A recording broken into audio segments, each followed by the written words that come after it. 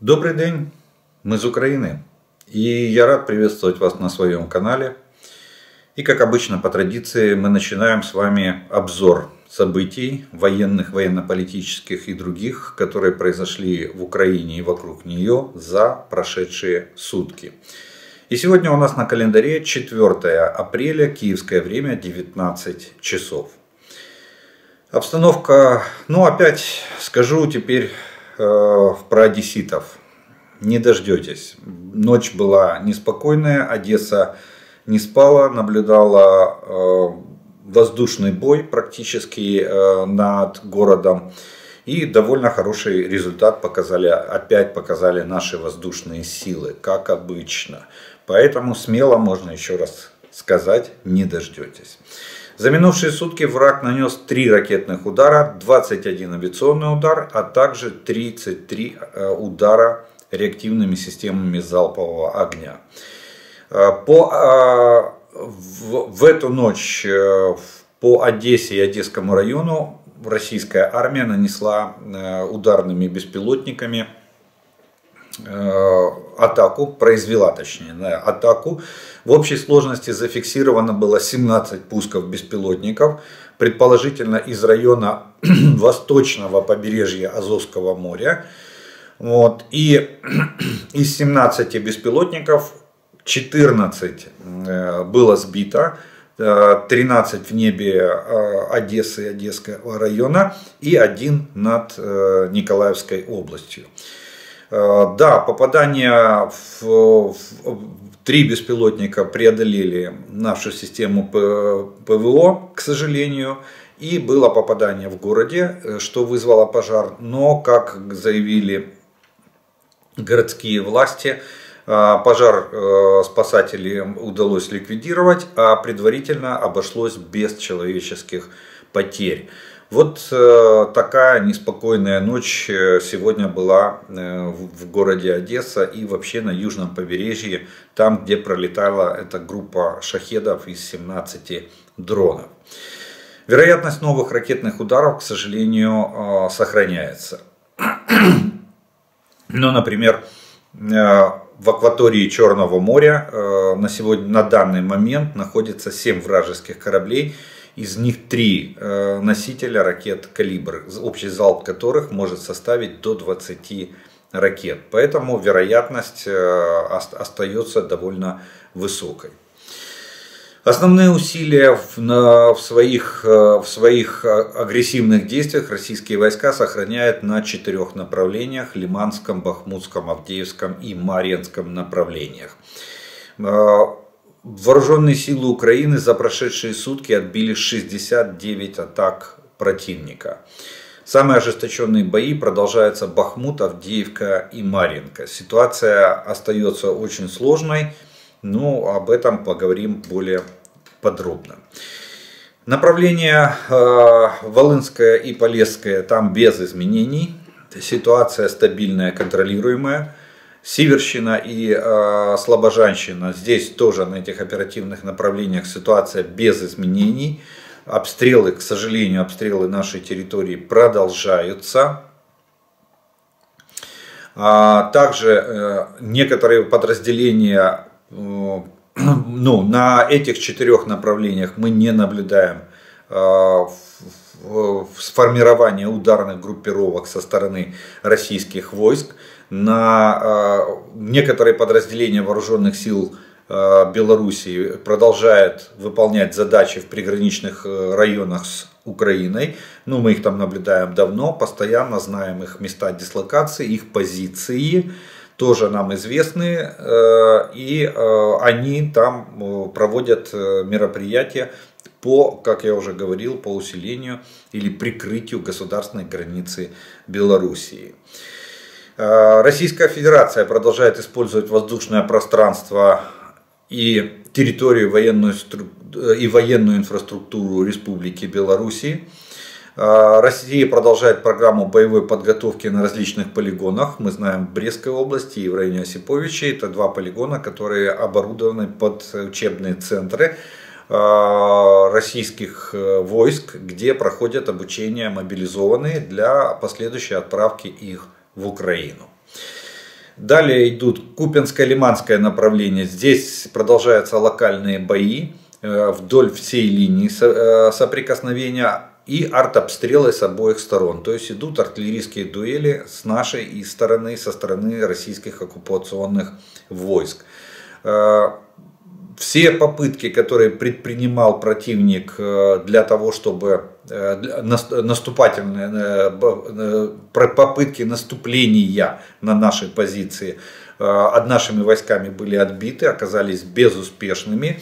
И, кстати, российские, российское командование, видимо, решив как-то компенсировать неудачи пеших атак на наши позиции, решила э, попробовать э, продавить нашу оборону малой кровью. И сейчас южнее Дебровы мы наблюдаем, наша разведка наблюдает значительную концентрацию артиллерии, российской артиллерии, а, которая, скорее всего, будет, будет в ближайшее время, будут они пробовать ее применять для а, продавливания нашей обороны а, с помощью ну, своей традиционной тактики огневого вала.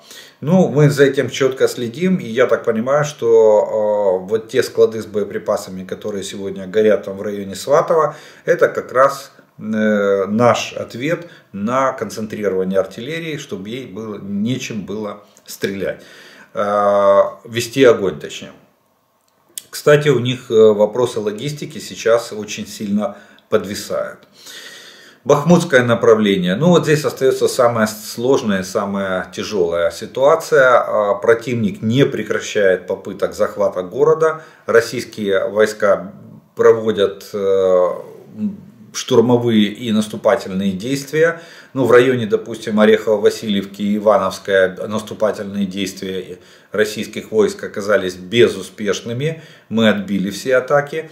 За сутки на Бахмутском направлении было 32 попытки атаковать наши позиции.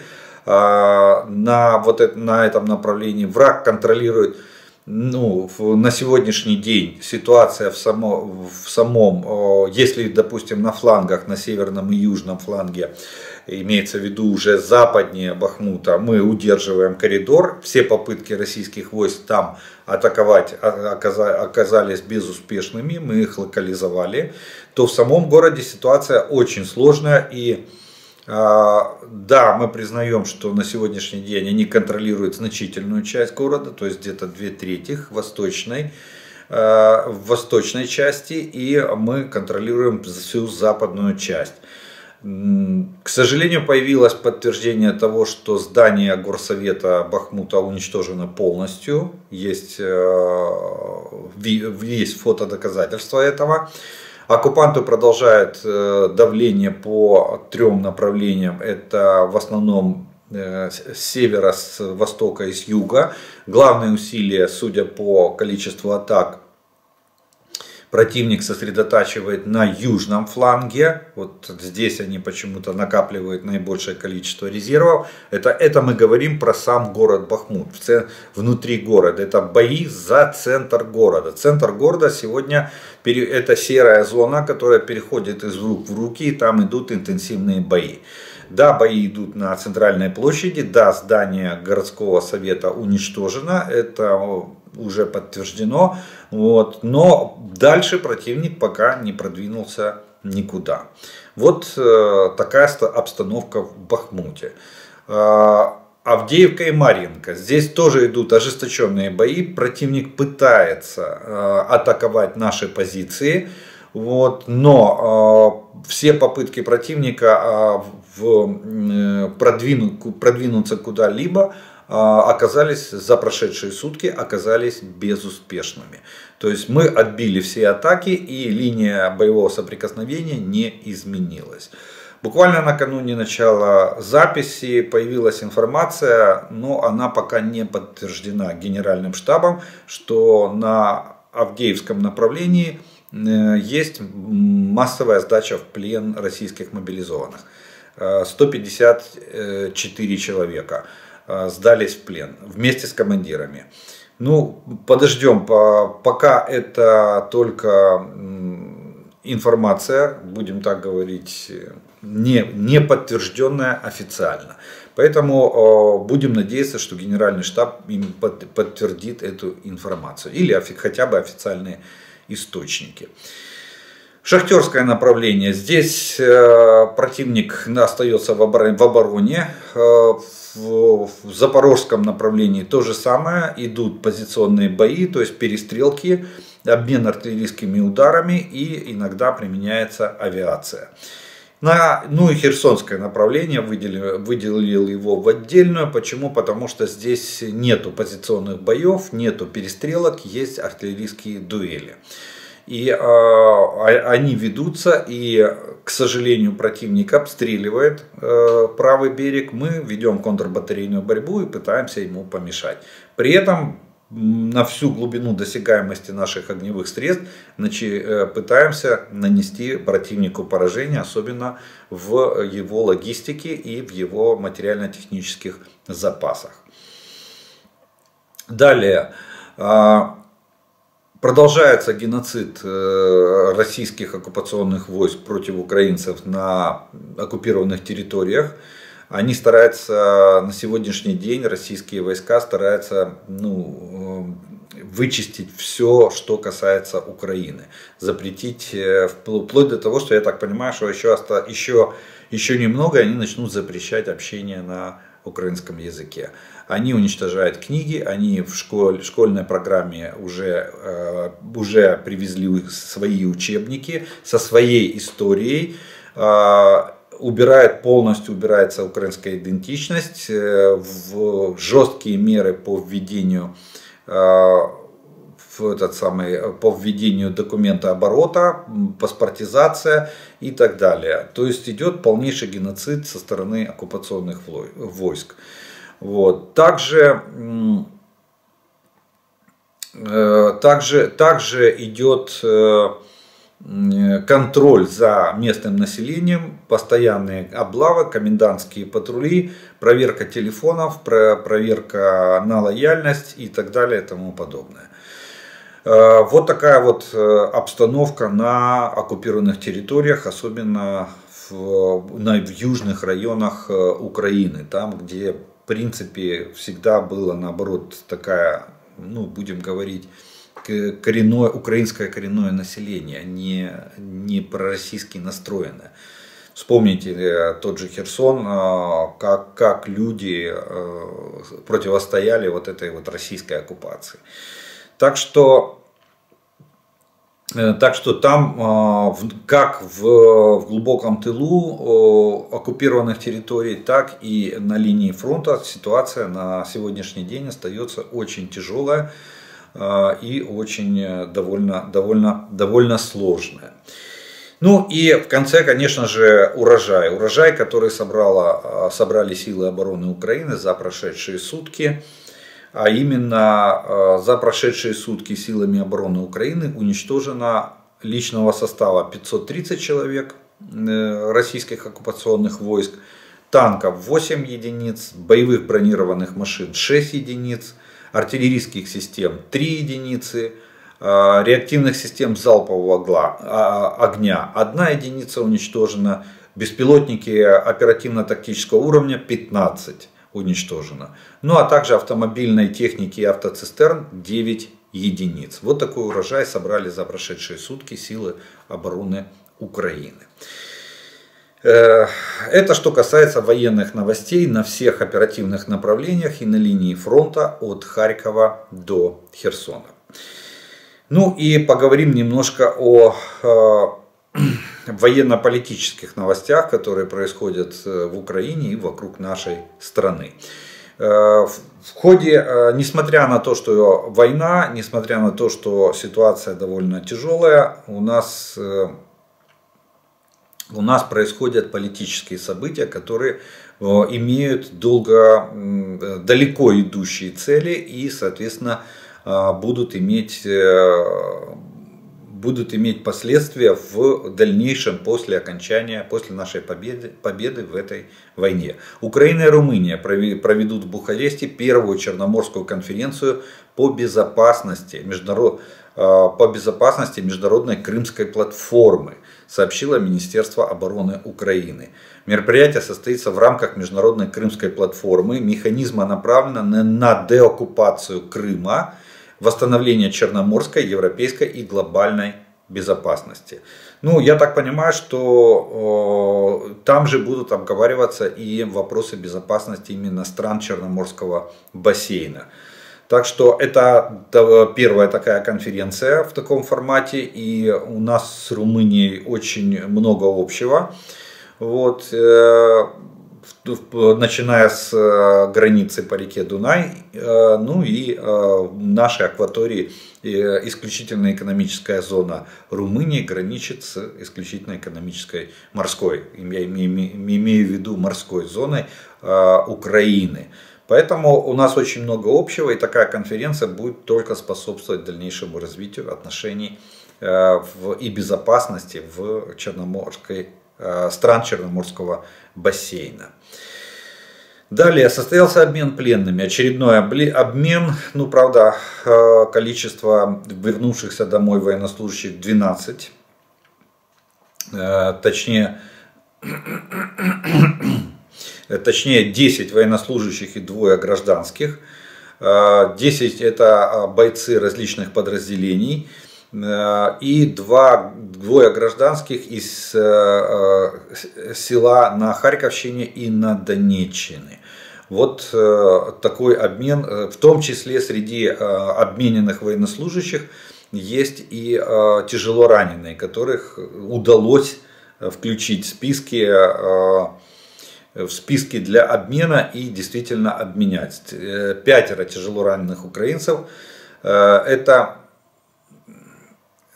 это, это, этих 12 человек российская сторона передала как ответ на единоличную передачу Украины 24 марта всех тяжело раненых э, российских военнослужащих, э, которые, которые находились, находились у нас в плену.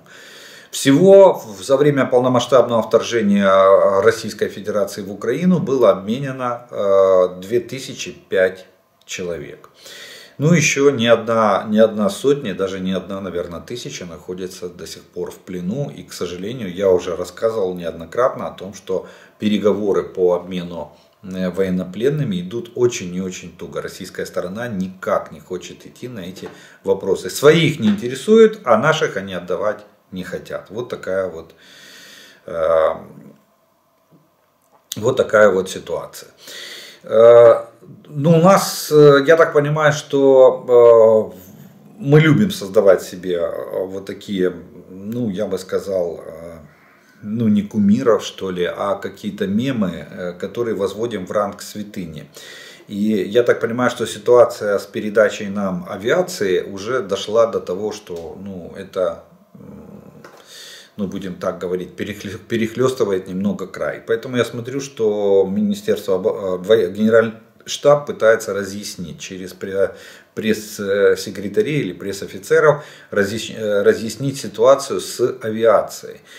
Ну, вот, что ситуация у нас э, в принципе довольно неплохая. И вопрос там передача истребителей, она э, или, или их не передача, что это не критично для, на сегодняшний день.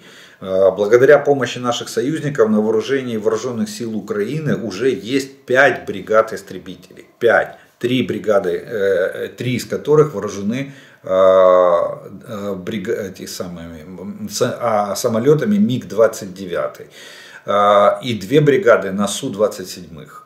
Вот. Так что есть у нас авиация. Это не то, что дайте нам самолеты, иначе, иначе у нас нет авиации. Нет, у нас есть авиация, и она работает.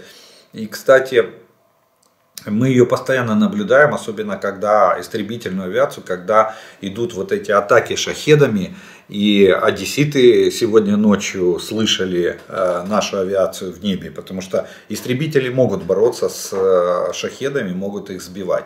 И, и э, на Киевщине было слышно, когда были атаки по, по Киеву этих шахедов. Они патрулируют небо, они помогают системам ПВО сбивать наши сбивать цели в виде шахеда.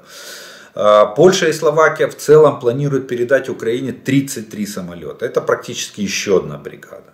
Еще одна. И в основном это МиГи-29. 20 МиГов мы должны получить от Варшавы и 13 от Братиславы. По, примерно по 4 Э, ну, 4 тут точно от э, Словакии мы уже получили, об этом заявлено официально. И Польша начала передачу. Количество самолетов пока не указывается. Я думаю, нам это не, не стоит указывать. Э, потом скажут, что все уже передано. Вот, поэтому не переживайте, у нас э, с передачей этих машин на, у нас появится просто появится плюс еще одна бригада на а, самолетах МиГ-29. Отличие того в том, что эти самолеты, они более модернизированы, чем те, которые у нас есть. И они адаптированы под применение натовских образцов вооружения. Вот а, такая ситуация на сегодняшний день в авиации. Поэтому а, может быть, поэтому генерал Миль, это, точнее э, Ллойд Остин, министр обороны Соединенных Штатов, и говорит, что сейчас не время для передачи Э, F-16 Украине. Может быть и поэтому. Вот когда обнародовал, Генеральный штаб обнародовал такие цифры, мы теперь прекрасно понимаем, что да, может быть сейчас и не время э, цепляться за F-16, а надо формировать ударную группировку для проведения контрнаступательных операций по освобождению наших территорий. Почему? Потому что те спутниковые снимки, которые сейчас э, гуляют в сети о наличии инженерных сооружений линии обороны противника, а, которые он готовит на оккупированных территориях, они довольно, я бы сказал, серьезные, требуют детального анализа и внушают некоторые, некоторые даже, э, внушают некоторые даже опасения. Вот, э, вот на что бы сегодня надо было бы обратить внимание. Ну и э, э сегодня, да, годовщина образования НАТО, 74-й день рождения НАТО, 74 года, как существует Североатлантический альянс. И в этот день, как бы в день рождения, вот такой вот подарок, э, Путин преподнес подарок НАТО, в НАТО вступила Финляндия. Почему говорю Путин? Потому что только благодаря его усилиям меньше года понадобилось Финляндии со времени подачи заявки до полноценного юридического присоединения к НАТО. В день рождения НАТО э, Финляндия была официально принята 31 страной в состав НАТО. Вот такая вот, поэтому такая вот благодарность. Э, я думаю, что финны выскажут свою благодарность Путину, что он так хорошо, быстро ускорил этот процесс. Вот. И несмотря на трудности, которые там в течение года вызваны Турцией, а, сегодня в Брюсселе официально состоялось подписание документов министром иностранных дел Финляндии. Э, так что последним, которое было присоединено, точнее предыдущим государством, которое присоединилось к НАТО, это была Северная Македония. Это произошло 27 марта 2020 года, то есть три года назад. Ну, я думаю, что за Швецией не заржавеет. Э, скорее всего, Турция вернется к рассмотрению вопроса э, ратификации вступления Швеции в НАТО. Это, это будет примерно э, летом, потому что в 14 мая в, Ту, в Турции пройдут президентские выборы, и все будет зависеть от ну, я думаю, что вопрос будет решен. Давайте так, не будем привязываться к выборам, к их результатам. Э, будет, останется Эрдоган или будет новый президент Турции, это покажут выборы. Но я думаю, что в любом случае этот вопрос будет решаться новым, новым, новым президентом или новым старым президентом, неважно. Все равно вопрос будет решаться. Э, НАТО не даст забыть, шведы не дадут забыть э, Турции то, что надо рассмотреть вопрос вступления, э, ратификации, точнее, вступления в Швеции в НАТО. Вот. У них пока немножко зависло. Ну и э, вот то, что я говорил, что э, приз великого геополитика э, достается Путину. Почему? Потому что защищаясь от э, расширения НАТО на восток, помните ультиматум 20, в декабре 2021 года был выдвинут ультиматум, что НАТО должно вернуться на границы 1997 года. Так вот, и 24 февраля Путин обосновал вот это массированное вторжение тем, что он защищается от НАТО. А, они получили 1200, почти 1300 километров границ с НАТО. Вот. Это все прямые последствия э, действий Путина в Украине. Именно наша война, именно массированное вооруженное вторжение России привело к тому, что на сегодняшний день э, НАТО приняло в свой состав Финляндию. Причем Финляндию, которая граничит с Российской Федерацией, такой огромной границей. И Финляндию, которая имеет довольно я бы сказал, не последнюю, на а, армию, а может в пятерке лучших армий и боеспособных армий на, э, в, составе, в составе э, войск, э, в составе войск НАТО. Вот такие вот военные политические новости произошли в Украине и вокруг нашей, нашей с вами страны. На этом мы первую часть нашего видео закончим. Я по традиции сделаю паузу. Э, кто не подписан, приглашаю подписаться. Все, кто смотрит это видео, поставьте, пожалуйста, лайк. И э, чтобы его могли увидеть как можно большее количество людей. И через некоторое время мы с вами продолжим.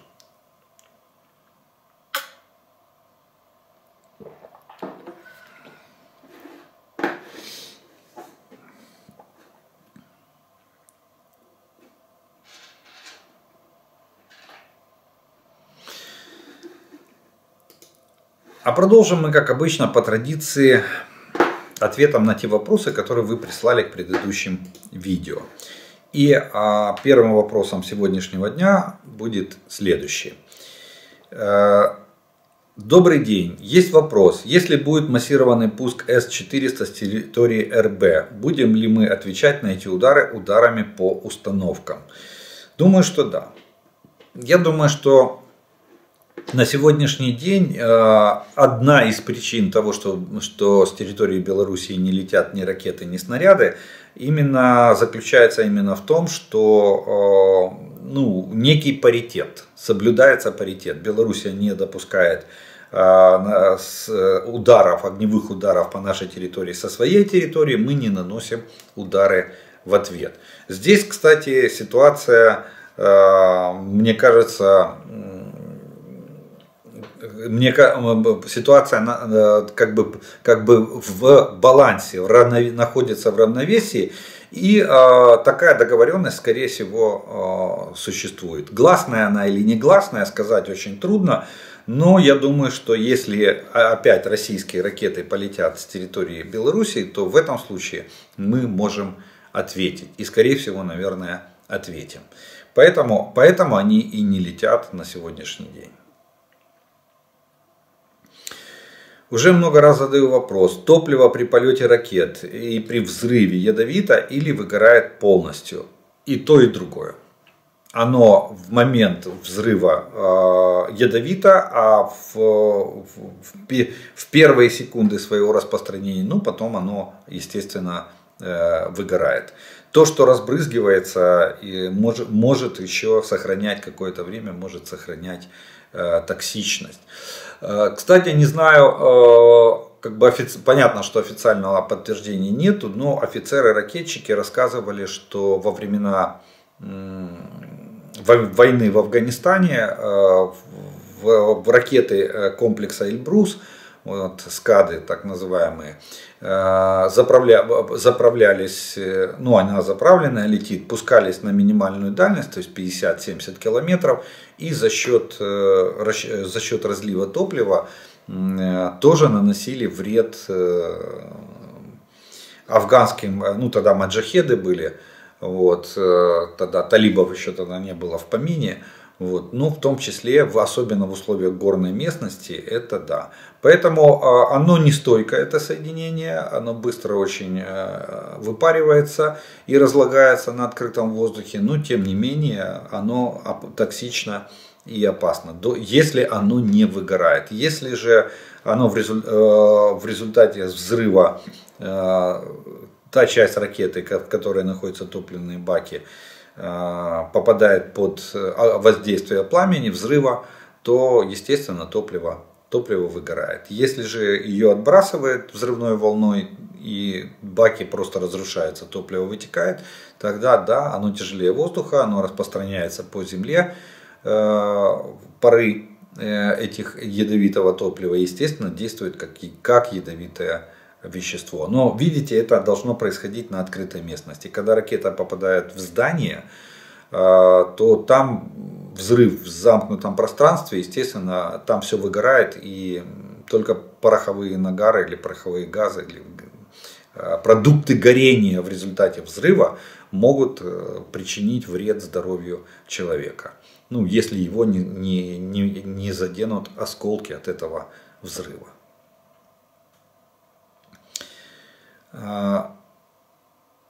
Я вот одно не могу понять. Про корабли в Черном море. Когда, куда они уплывают э, у вас постоянно, то 4 корабля, то 2, если это Черноморский флот.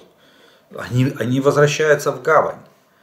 Они, э, смотрите, есть, э, есть порты, в которых они дислоцируются. Это в основном, в основном это Севастополь и Новороссийск. Два основных порта, в которых Э, располагаются эти корабли. Им надо, допустим, э, после залпа калибров им надо загрузить эти калибры. У них довольно, у корветов небольшой боезапас. Поэтому после каждого залпа им надо при, прийти в порт загрузиться. Плюс у них дальность похода довольно, или продолжительность похода тоже довольно небольшая. Поэтому им надо что? Пополнить топливо, воду и продовольствие. И они уходят в порты. Когда они находятся в портах, они э, с акватории порта они огневые ракетные удары не наносят. Был, э, было летом несколько раз, когда они выходили на рейд э, перед портом и оттуда наносили удары. Из Севастопольского порта они с рейда наносили удары. А так они выходят, у них в Черном море есть район боевого дежурства. Они выходят в этот район и там дрейфуют в этом районе дрейфуют или там а, э, перемещаются. Все зависит от тех заданий, которые они выполняют. Тренируют экипажи и так далее. Если поступает команда. И вот это считается корабли в готовности к применению. Мы их считаем, эти корабли, которые находятся на боевом дежурстве. Они в готовности нанести ракетный удар, как только получат приказ. Потом, когда необходимо либо перезарядку после залпа, как я уже сказал, либо необходимо а, пополнение запасов на самом корабле, на том же корвете или на той же подводной лодке. Лодки же дизельные, они же далеко не могут уходить. Нету в акватории Черного моря атомоходов, которые там по 11 месяцев могут находиться в автономном плавании. Нет, таких лодок нету на Черноморском флоте. И вот эти носители уходят, или группа кораблей уходит. Допустим, их вот сегодня там 7 а, кораблей, из них, из них 3 носителя ракет калибр. Да? А, завтра поступит приказ оставить два корабля на боевом дежурстве, остальные, остальные уйти в гавань. Они их убирают оттуда. Вот туда они уплывают, в порты приписки или в порты, ну, у моряков порт приписки. У сухопутчиков пункт постоянной дислокации, а у моряков порт приписки. Вот они в этот порт и уходят. На базу, так можно выразиться. Приветствую. А, наверняка сегодня расскажете об атаке э, драндулетов по Одессе и области. Ночью в небе был ад. Видели и слышали экшен в небе. По звукам, скорее всего, в небе летали наши птички, истребители. Мой вопрос, что за звук, похожий на звук вертолета, был после сбития цели? А, это может быть звук падения сбитого шахеда. Дело в том, что а, он, если он начинает э, закручиваться в штопор, то может или, или делать э, переворот через крыло в результате повреждения фюзеляжа, то может создаваться такой вот э, звук, похожий на, на работу Э, на работу вертолета. Также может изменять свой звук работа, работающий мотор пикирующего или сбитого, э, сбитого шахеда. Если мотор был поврежден, естественно, звук может измениться. Он может не заглохнуть, но звук может измениться. Так что Э, вы знаете, я вам скажу, когда вот такой, как вы пишете, экшен в небе, когда там кромешный ад э, творится, э, средства ПВО работают, авиация э, носится э, в, в, э, сбивая эти дроны. Дроны, дроны летают перед тем заходом на цель, делают там круги, развороты, то, конечно, там точно по звуку сказать, что там происходит в небе, практически невозможно.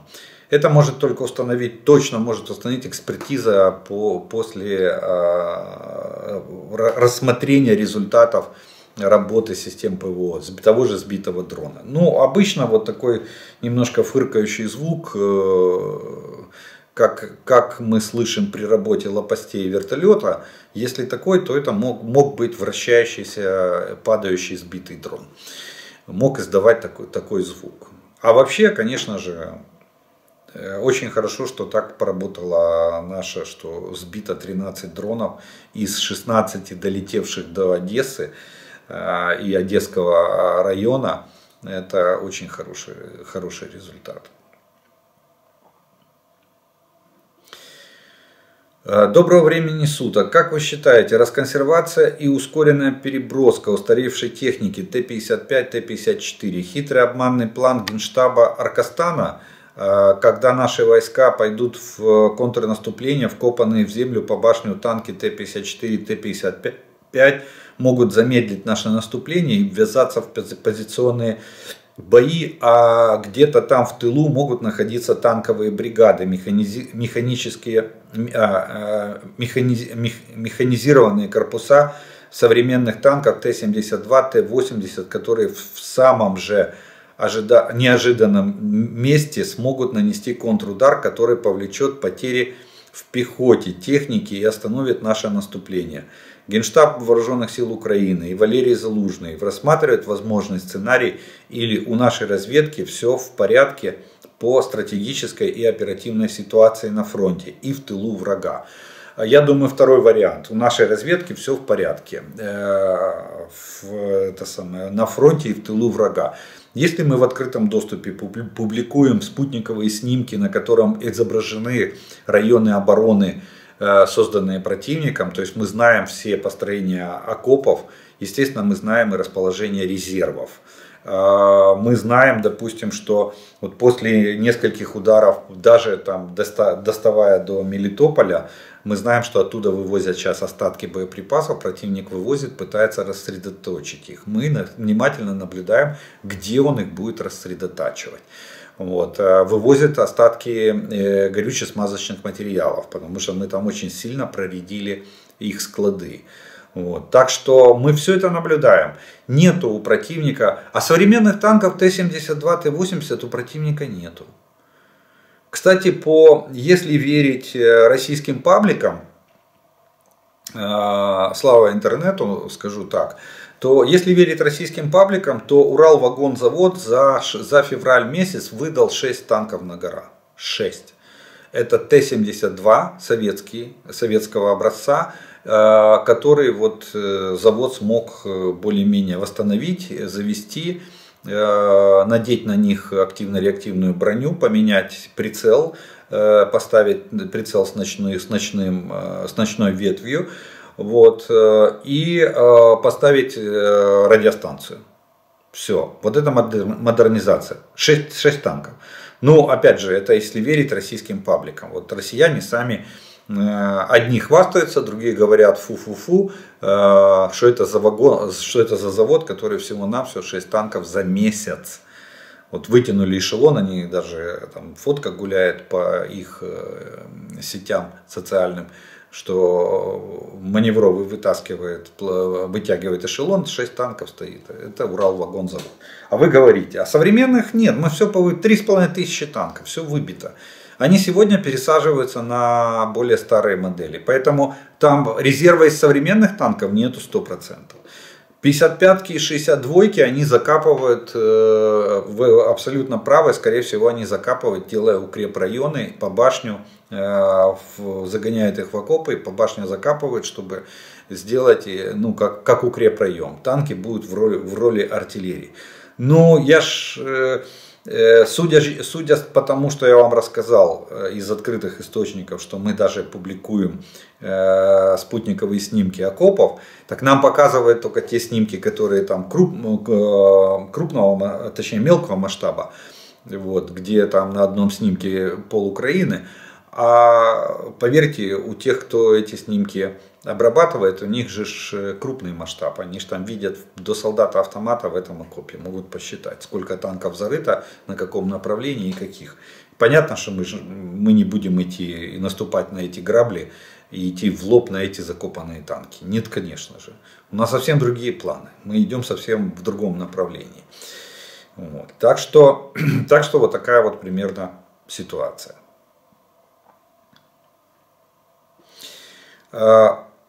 Почему в танках до сих пор преобладает оружие кинетического типа, пушка?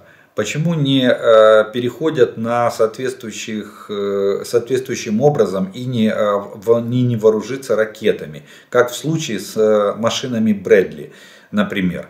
Если бы поставили много пусковых установок типа Джевелин вместе с автоматом заряжания, э, вроде у ракеты выше попадания и точность и гарантированный урон – при этом снаряд может не пробить броню, отскочить, промахнуться в критическую точку. Привет из Литвы. Э, вопрос, э, автоматический перевод Google. Смотрите, дело в том, программа ракетных танков, она неоднократно поднималась в мире. И первые программы ракетных танков были э, еще в 30-е годы, когда только зарождалось танкостроение. Потом к этому возвращались в 60-е годы. Кстати, при Хрущеве в 68 году, по-моему, закрыли последнюю программу ракетного танка. Это нецелесообразно. Э, почему? Потому что направляющая ПТУРа может быть, во-первых, э, ПТУРы намного больше, их для танка и количество их в боекомплекте очень малое. Во-вторых, э, вот этот механизм заряжания ПТУРа, он э, полностью меняет конфигурацию танка. Для образца посмотрите э, изделие, погуглите, посмотрите изделие Штурм С и Хризантема. Это Штурм С это советский на базе МТЛБ. Вот типа, типа такой легкий на базе МТЛБ ракетный танк. Ну, танком, конечно, МТЛБ назвать очень отдаленно можно. точнее вообще нельзя. Но тем не менее принцип вот тот, который вы говорите. Так вот в МТЛБ Штурм С, у нее барабан на 12 э, ракет в середине. Так это, эта вся система занимает э, всю машину. это первое. Второе, ни Советский Союз, ни Российская Федерация за свои 30 лет независимости не смогли создать ПТУР третьего поколения типа Джевелин. То есть пустил и забыл. Такого птура в России нет. Все птуры полуавтоматические, все птуры второго поколения. Надо, э, надо, его, э, надо его сопровождать, этот птур. То есть держать перекрестие на, э, на цели. В движении это делать практически невозможно. Значит, надо что? Останавливаться. А вот, допустим, модернизировать сам танк и модернизировать снаряд ПТУРа, это, вот это очень хороший выход, когда ПТУР помещается в боеукладку танка, как штатный боеприпас.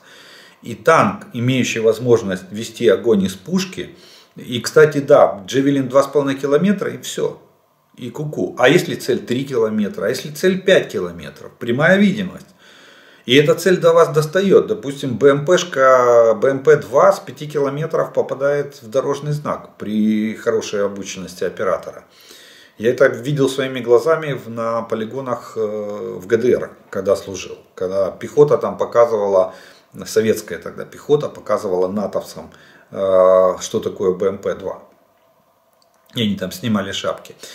Вот. Э, поэтому, а, тан, а танк что? 2,5 километра и все, куку. -ку. А так танковая пушка, современный танк Т-72 где-то от 9 до 12 километров дальность стрельбы даже может стрелять с закрытых огневых позиций, как артиллерия. Э, да, там точность хромает, но все равно. Э, плюс в боеукладке танка там порядка 40 снарядов плюс-минус. Э, а если еще в эти снаряды вместо там, там пятерки снарядов положить 5 птуров и птуром через ствол, зачем? И тогда зачем? Программа, ну еще раз говорю, ракетный танк это, это от этого отказались все страны. Все, все, кто пытался это, это делать, все отказались.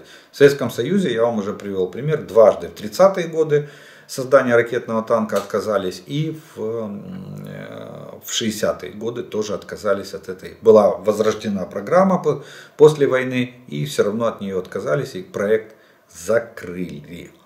Так что танки с пушками это огневая мощь. А еще плюс птур через ствол это еще лучше. А ракетный танк это ну, будем так говорить, неэффективно на, даже на сегодняшний день, даже при сегодняшних современных технологиях. Очень низкая эффективность. Э, Витание з Литви. Э, планирующие бомбы, если на них поставить еще и противорадарный слой, это оружие на, не разгромит э.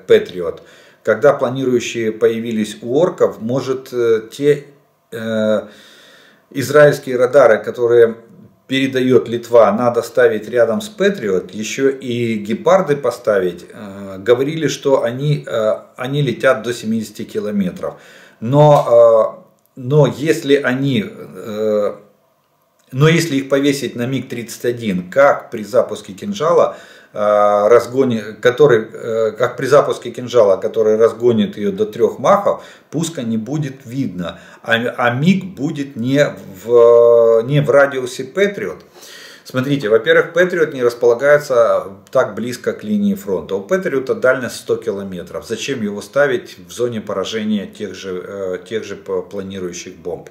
Это нерационально. Поверьте, я не думаю, что такое такое будет. Патриот будет стоять как раз вот, э, это первый момент. Второй момент, э, на МиГ-31 точно не поставят. Точно. Объясню почему. Потому что МиГ-31 самый скоростной самолет. И он довольно тяжелый самолет. Э, истребитель-перехватчик. А для боевого разворота МИГу надо примерно 50-70 километров. 50 это минимальное, как говорят летчики. Меньше 50 километров МиГ не развернется. Так вот, смотрите, считаем арифметика. Арифметика Пупкина с картинками. Первый класс, вторая четверть. Э, дальность планирования бомбы 70 э, километров. МИГу, чтобы, э, чтобы не попасть на, в нашу зону ПВО, то есть для того, чтобы не перелететь линию фронта, ему надо 50, ну минимум 50 километров для боевого разворота. И то я не уверен, что это боевой разворот на максимальной скорости. Может быть и больше радиуса разворота. Если идти на, на максимальной скорости, а у него максимальная скорость, как нам уточнили летчики, 2,8 маха, почти 3 скорости звука. Понимаете? Поэтому на МиГ-31 точно не поставят. Это тяжелый самолет, он не успеет развернуться. На другие самолеты могут поставить, они более маневренные, меньше у них скорость. Э, типа Су-35, типа Су-24. Вот. Но э, сброс этих бомб на такой скорости, я думаю, что нецелесообразен. Опять же, повторюсь, они будут залетать в, нашу, в зону ответственности нашего ПВО. Поэтому дистанция их сброса будет довольно большая, километров 10-20 от линии фронта, для того, чтобы самолет успел отвернуть. А, потому что более легкому самолету надо более и с меньшей скоростью надо меньший радиус боевого разворота, чтобы уйти от наших ПВО. Вот. А, и это получается, что на дальность поражения остается сколько? 50 километров. То есть в глубину до 50 километров. Я не думаю, что наше командование поставит Патриоты ближе 50 километров к линии фронта. Вот вам ответ Э, вот вам ответ на, на, этот, э, на этот вопрос. Вот. Так что, э, а, да, с бомбами бороться очень тяжело, их может, могут увидеть только радиолокационные станции. Вот. Но и Патриоту будет тяжело увидеть эту планирующую бомбу, потому что она для него малоразмерная цель. Очень малоразмерная. А для гепарда это как раз та самая цель. Ну и еще раз повторюсь, мы же не знаем, я не думаю, что эти бомбы можно сбрасывать, э, можно сбрасывать на сверхзвуковой скорости. Вот, кстати, это очень интересный вопрос. Я обязательно его про, про, посмотрю, про, прозондирую и скажу вам, на какой скорости примерно сбрасываются эти бомбы. Я не думаю, что, скорее всего, на дозвуковой скорости, потому что после преодоления звукового барьера там меняется аэродинамика. И я не уверен, что эта бомба может лететь со сверхзвуком. Вот. Или планировать, точнее планировать с скоростью сверхзвука. Так что нет, такой вопрос, как вы написали, вряд ли, вряд ли на сегодняшний день возможен.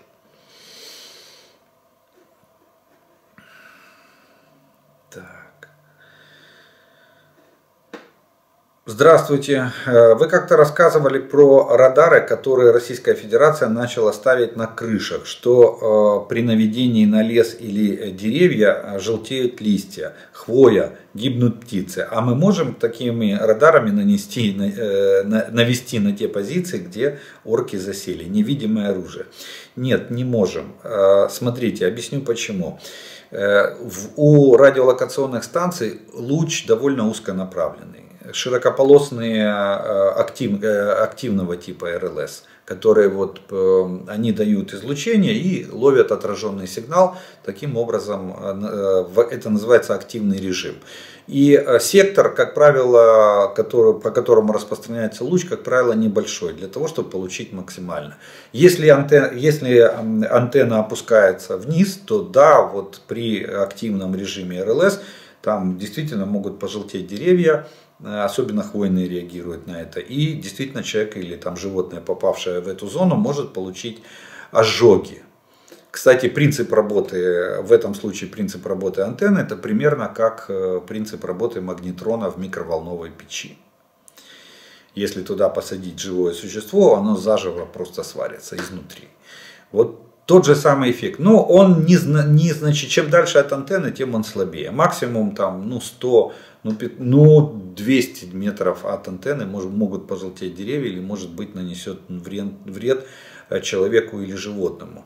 А, почему? Потому что дальше луч рассеивается и мощность э, антенны падает.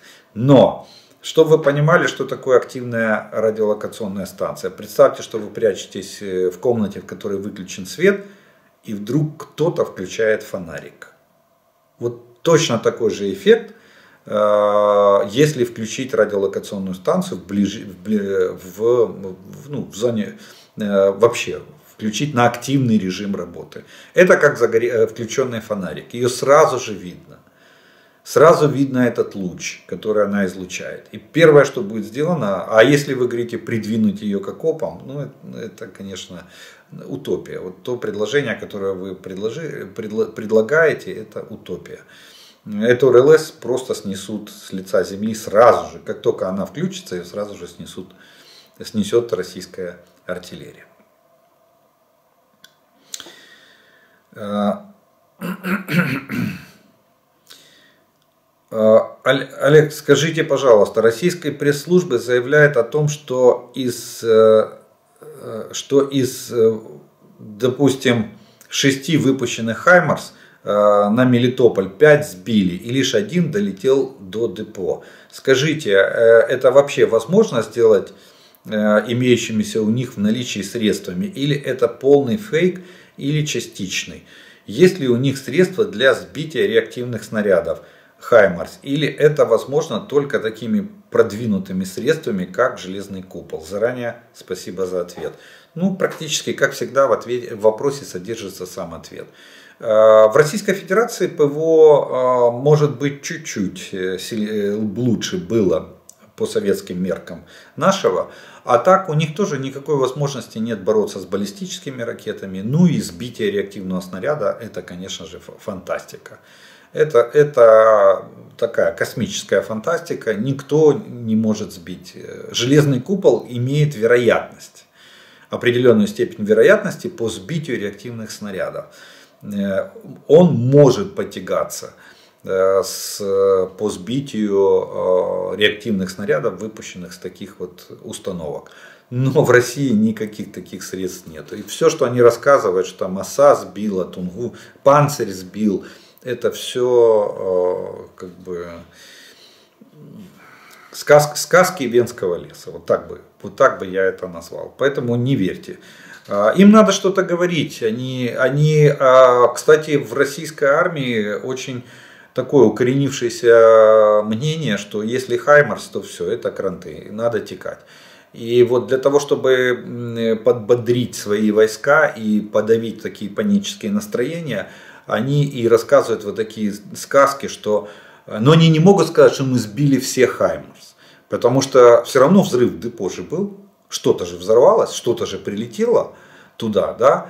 А местные это точно знают, сколько взрывов были, было, потому что они ж, они пальцы загибали, когда там рвалось в депо э, в том же Мелитополе. Да. Вот. А официально Министерство обороны смело рапортует, что из шести Хаймерс пять было сбитых, ну один, к сожалению, достиг цели. Да нет, нифига, все шесть достигли цели, все шесть взорвались. Там, туда, там где, куда их отправили. Точно так же, как Антоновский мост они защищали. Да? Каждый раз докладывали, что все Хаймерс сбиты, а разведка наша показывала фотографии, и местные выкладывали в социальные сети фотографии с дырками. И мы считали эти дырки. Сколько дырок сегодня появилось после налета Хаймерс. Почему-то количество дырок и количество выпущенных снарядов, как правило, совпадало. Вот. Так что, что они там сбивали, очень трудно сказать. Что-то, наверное, сбивали.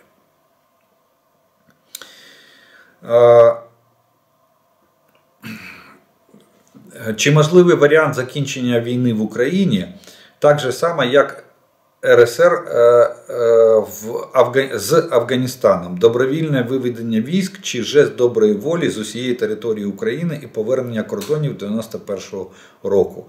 Э, вероятность такая существует. Она очень маленькая, но она существует. Но это, вероятно, это, такой вариант возможен только в случае смены политической системы Российской Федерации. Вот если э, Путина и его окружение э, отстранят от власти каким-либо способом, то тогда, да, новый либерал, демократическое или какое там руководство России может пойти на такой шаг – и, скорее всего, пойдет на такой шаг, э, ну, во-первых, для того, чтобы э, перед внутренней аудиторией сохранить жизни военнослужащих и сказать, что мы вернули вам их живыми и здоровыми. Вот. А с другой стороны, э, в обмен на вывед, полный вывод войск российских с территории Украины,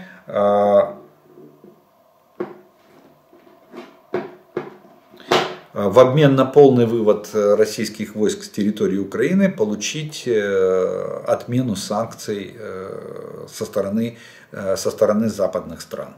Вот. Ну, естественно, далее это все будет под, прикреплено, подкреплено этими самыми договорными обязательствами и всем, и всем остальным.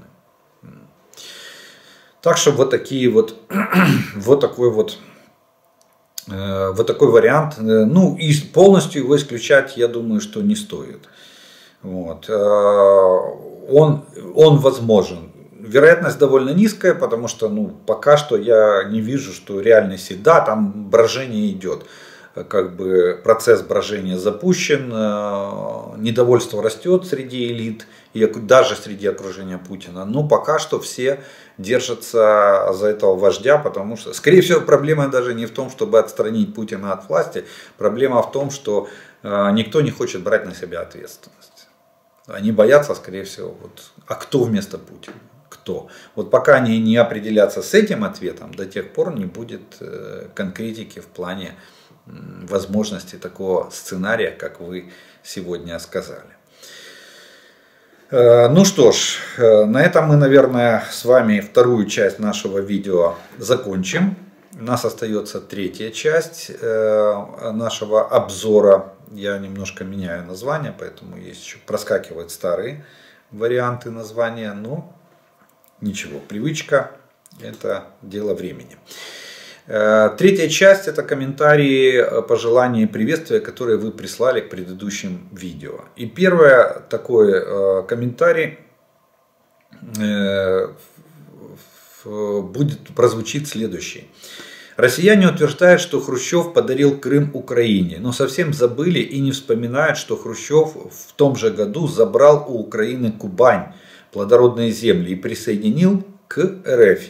По факту разменяв одну территорию на другую. Вот так вот Хрущев подарил Украине Крым. Да, это, кстати, правда. Слобожанщина это была Украина, и Хрущев произвел размен землями. Никто никого не, не обделил. Так что если э, поднимать, исторически поднимать факт, то э, и Крым возвращать в состав РСФСР, э, то надо вернуть в состав Украины те земли, которые перешли тогда, были от, от, отделены от Украины.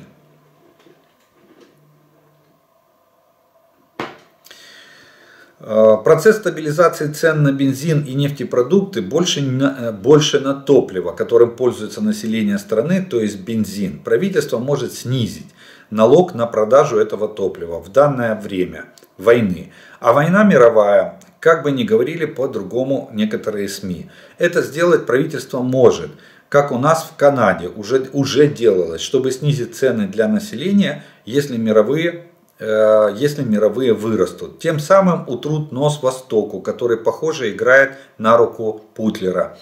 США может это сделать тоже, э, особенно во время праймерис или выборов в 2024 году. Так что волноваться рано, посмотрим, что будет. Но если что и будет, то возможно, можно и сэкономить. Например, на одну поездку сделать все, все покупки и еще Э, разные дела для себя и семьи. Вот такой вот вариант э, того, что... У нас, кстати, тоже снижен акциз на топливо, но почему-то некоторые, некоторые наши заумные, я именно так назову, заумные экономисты, говорят, что это была ошибка снижения акциза на бензин. -то на топливо. То есть они хотят, а топливо это ценообразующий ну, как бы, э, фактор. И хотят с 1 июля вернуть акциз на довоенный, что повлечет за собой рост цен на все, начиная от топлива и заканчивая там, продуктами питания. Так что ну, у нас страна экспериментальная, постоянно ставим сами на себе эксперименты. Далее, они размещают ядерное оружие, чтобы побудить Запад к таким же действиям. И потом это приведет к переговорам и договоренностям, поэтому не надо реагировать на провокации. Такой. Э, пане Олеже, ви не праві. Э, пане Олеже, э, Стосовно Капустиного Яру, між цими двома ядерними полігонами Капустин Яр, що знаходиться у Волгоградській області, та Семипалатинськом, що на сході Казахстану понад 2,5 тисячі кілометрів. Під е, Семипалатинськом сидів свого часу у е, задраяному танку Т-54 мій батька у середині 50-х років. Е, під час випробування ядерної зброї у 25 кілометрах від епіцентру вибуху. Після цього за декілька років два з чотирьох членів екіпажу важко, важко захворіли, один з них потім помер. Э, да, я э, имел в виду Тотские лагеря, не Семипалатинский полигон. Да, Тотские лагеря, он тоже полигон, на котором испытывалось ядерное оружие. Ну, кстати, вот то, что вы говорите, что ваш отец сидел, может быть, в танке в 25 километрах от ядерного взрыва, в Семипалатинске. Нет, там, насколько я знаю, там, по вот эти учения, учения, когда прогоняли войска 40 тысяч Э, военнослужащих было, прошли через эпицентр ядерного взрыва, настоящего ядерного взрыва. Эти, эти учения проводились под руководством Жукова на, э, именно в тотских лагерях. И полигон был заражен, именно, естественно, никто не проводил никакие рекультивационные работы, а потом туда приезжали войска и тренировались на этом же, на этом же полигоне. Вот там, да, такие э, проводились. А вот на Семипалатинском полигоне там проводились испытания, но чтобы с участием людей, животных, да, я знаю, выставляли на ядерные взрывы. Ну, может быть, Советский Союз вообще такая была страна чудесная, что могли действительно экипажи посадить в танки. Для того, чтобы посмотреть, как, как э, танкисты получат, какую танкисты получат дозу облучения в результате э, ядерного взрыва. Слава, можливо, вже пора розпочаткувати процедуру вручення десь на території Московії або ближче, поки що живим і недобитим вагнерівцям разом з їхніми опущеним ватажком статуеток або бюстів за временное, в кавычках, взятие участка земли, который является, остался под руинами Бахмутского горсовета. Тим більше недавній досвід такої процедури показує, що ефект просто бомба. Вот такой шутливый. ЧВК «Вагнер» создал Дмитрий Уткин, подполковник запаса спецназа ГРУ, и назвал ЧВК по своему позывному «Вагнер». Ну и вот еще одна версия. Я знал, что этот самый, я думал, что я читал версию, что это фамилия его была, и что он вроде как был полковником. Ну, каждая версия имеет право на жизнь. Так что вот вам еще одна версия, почему именно ЧВК Вагнера. И при этом ни Ницше, ни э, какие-либо другие варианты э, отношения, отношения не, э, к композитору не имеет, или к названию этой организации. Кстати, ну, назвать ее частной военной компанией нельзя, потому что российское законодательство этого не предусматривает. Это а, либо незаконно вооруженное формирование, либо это организованная преступная, преступная группа а, вооруженная. Э, мы жестокое зверье, в наших жилах все еще течет темная кровь и злая рабья кровь, ядовитое наследие татарского и крепостного ига. Нет слов, которыми нельзя было бы обругать русского человека. Максим Горький. Жаль, что 200 тысяч убитых российских оккупантов э, так уже и не узнают, в чем был план бункерного деда. Вот такая вот что будет с Калининградом, если Германия а, раздаст паспорта жителям области, немецкое правительство решит вернуть Кенигсберг по аналогичной схеме Крыма? Сначала Германия начнет выдавать паспорта жителям Калининграда и области, в первую очередь пенсионерам и бюджетникам. Далее они начнут платить немецкие пенсии и пособия в евро, а также выдавать ипотеку, как в Германии, под 2-3%. Немецкие флаги начнут появляться во всех российских ракетных базах. Очень хороший комментарий. Хотел сначала его прокомментировать в том плане, что лучшая подружка Путина, фрау Меркель, будучи канцлером, на первые же эм, выступления вот последнего, по-моему, при ней созыва Бундестага, э, там, там где по-моему, Новая Германия партия э, сделала заявление, что Кенигсберг надо возвращать. Это наши земли, и аренда давно закончилась на 49 лет. На что она сказала, что мы не потянем э, возвращение Кенигсберга, и мы не претендуем уже на эти... То есть она фактически отреклась от немецких, э, как Путин любит говорить, исконных немецких земель, а, видимо, в пользу своего лучшего друга Путина. Вот. Но и еще хотел прокомментировать, что э, ну, вот я служил ГДР, и потом через 25 лет, 25 лет мы приехали туда на экскурсию, ну, туристами, просто посмотреть, что стало и как. Я вам скажу, что ФРГ не вытянуло так зем, восточные земли, земли ГДР так и остались э, э, ниже в социальном уровне, намного ниже, чем э, Западная Германия. Не дотянули. Да, инфраструктуру подлатали, да, выровняли немножко пенсии, но по зарплатам проблемы и по, по уровню развития тоже проблемы. Не потянула немецкая экономика в, как бы, вытянуть эти земли на уровень э, жизни Западной Германии. Это факт. А, вот еще одно напоминание, что вы ошиблись. Капустин-Яр находится в Астраханской области, а Семипалатинск на востоке Казахстана. Вы, наверное, имели в виду Тотский полигон. Да, я уже об этом сказал, и что действительно э, Тотские лагеря, еще так военные называют, этот, этот полигон Оренбургская области.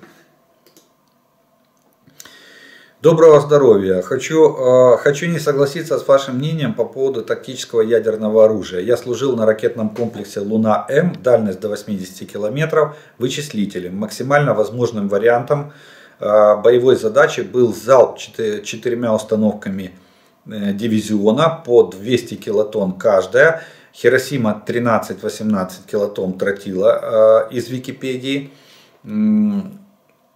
При этом развернутая э, танковая дивизия противника должна была прекратить свое существование.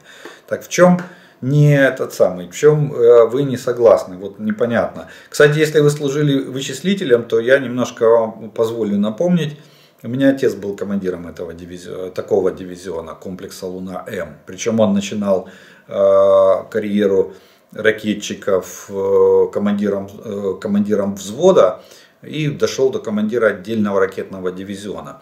И был на Луне, а, а, служил комплекс Луна, сначала был на гусеничной базе, а потом они поменяли на, на комплекс Луна-М на колесной базе ЗИЛ-135ЛМ в колесной формулы 8 на 8. Так вот, дальность 70 э, километров, 20 минимальная, 70 а максимальная. Коэффициент кругового отклонения 700 метров.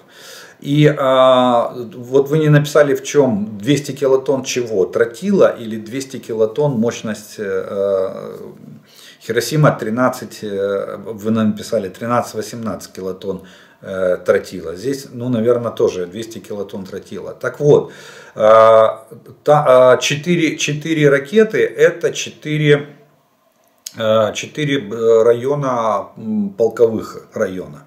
Э, могло быть поражено. Конечно, правильно вы написали, что дивизия танковая э, в районе сосредоточения или на, если она готовилась, готовится к наступлению, или четыре э, полковых района обороны, если она стоит в обороне. Вот брешь в обороне противника. Все правильно, в этом был предназначение этого ракетного комплекса. И, кстати, организационно-штатная структура вооруженных сил Советского Союза именно это и предусматривало. Каждой дивизии мотострелковой э, был свой отдельный ракетный дивизион комплекса Луна, тактических ракет.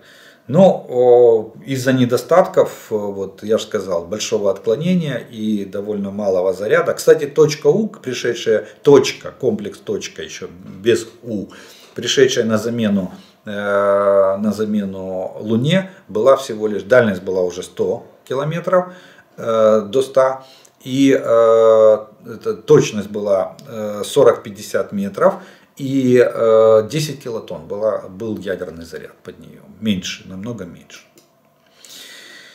Э, над очередным э, коровником водрузили флаг в Бахмуте. Со счета сбился, сколько раз его уже брали официально. Ну, мы говорили, что повторяется вариант Солидара. Каждый день брали Солидар. Две, сколько там, две недели э, они его брали. Дякую за вашу роботу. На мою думку, Бахмут потрібно було тимчасово залишити ще раніше. Головне зберегти наші війська. Ціна не вартує того. Слава Україні, слава Збройним силам України капитан запасу, участник боевых дій.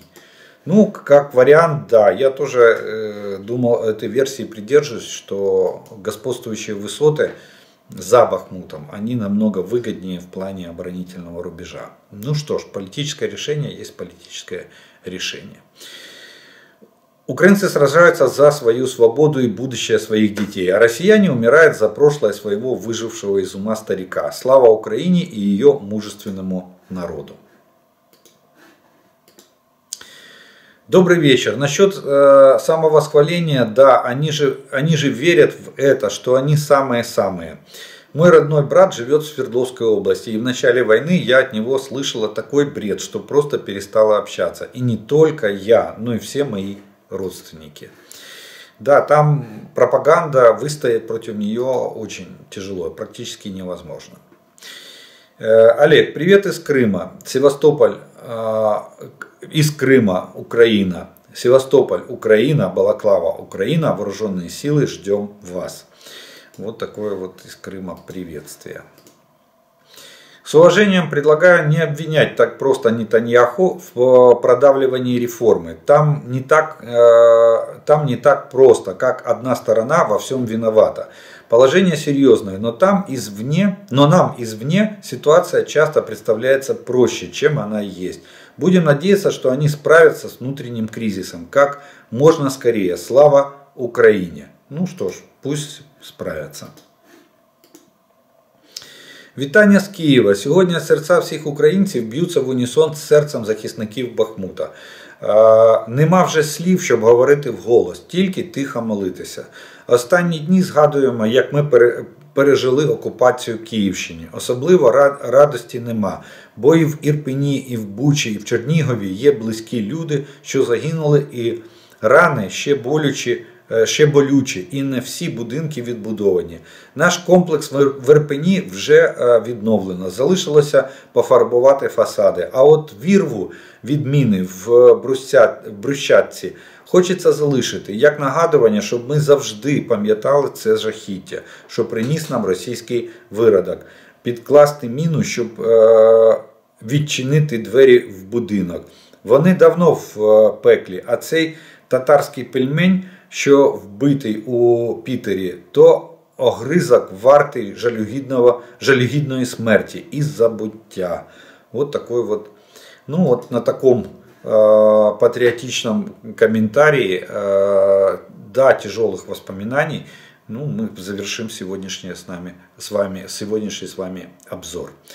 Я благодарю вас за ваше внимание, за ваше время, что вы досмотрели до конца это видео. Э, напоминаю тем, кто не подписан, подпишитесь. Кто смотрит это видео, не забудьте поставить лайк, чтобы его могли увидеть как можно больше людей. Огромные э, слова благодарности спонсорам и тем, кто помогает каналу.